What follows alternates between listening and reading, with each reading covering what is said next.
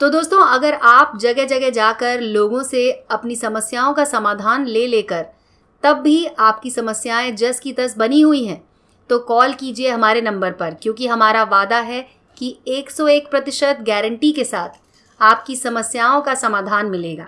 सौतन और दुश्मन से छुटकारा। मनचाहा वशीकरण मनचाहा प्यार मनचाहा प्रेम। जी हाँ मनचाही शादी करना चाहते हैं आज मैं आपको एक ऐसा वशीकरण का मंत्र बताऊँगी, जिससे आप किसी को भी अपने वश में कर सकते हैं। बहुत ही शक्तिशाली मंत्र है। किसी को अगर आप एक तरफा प्यार करते हैं, वो आपकी बात नहीं मान रहा है, या वो जो आपको बहुत परेशान करता है बात बात पर आपसे झगड़ा करता रहता है। जी आजकल बहुत सारे लोग ऐसी परिस्थितियों में रह रहे हैं, गुजर रहे हैं, और ऐसे में इस वशीकरण की विधि को करने से सारी मुश्किलें आपसे दूर चली जाएँगी। दोस्तों, ये वशीकरण बहुत ही शक्तिशाली है। आइए आपको बताते हैं इसके बारे में। आप आपको करना क्या है दोस्तों? बहुत आसान है। एक नींबू, काला धागा और आपको अपना बाल लेना है और उस आदमी या औरत का जिससे आप वश में करना चाहते हैं, उसके सिर का एक बाल लेना है और एक मीटर लाल कपड़ा लेना है। अब आपको ये विधि करनी है। सबसे पहले आपको उस इंसान को जिससे आपको वश में करना है, उसके बाल और अपने बाल को एक दूसरे में लपेट देना है। उसके बाद नींबू को दो टुकड़े में काटना है, फिर दोनों बालों को नींबू में सावधानी से रख कर काले धागे से बाँध देना है और उसके बाद लाल कपड़े में से रख देना है और ये मंत्र आपको इक्यावन बार पढ़ना है। जी हाँ याद रखें, ये सब करने तक अपने मन में सिर्फ़ और सिर्फ़ उसी व्यक्ति का ध्यान रखें, जिसके लिए आप ये वशीकरण का उपयोग करने जा रहे हैं। उसके बाद आप लाल कपड़े को किसी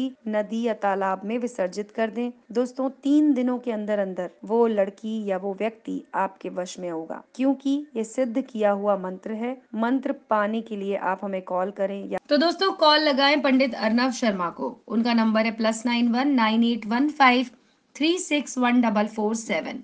और अपने जीवन की सभी समस्याओं का समाधान पाएँ पंडित अर्नव शर्मा जी से।